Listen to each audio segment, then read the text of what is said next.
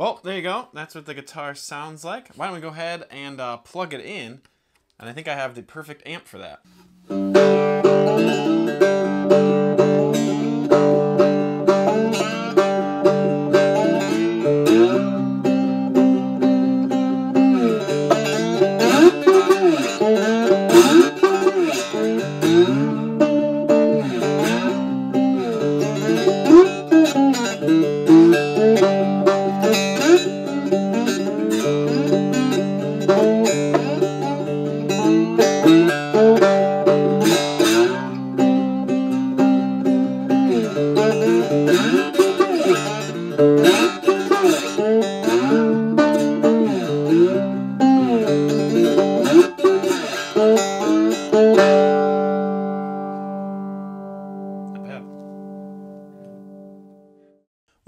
Sticking around this long in this video. Hopefully that means you liked it. If you have any questions, let me know what those are in the comments down below this video. I'd love to answer those.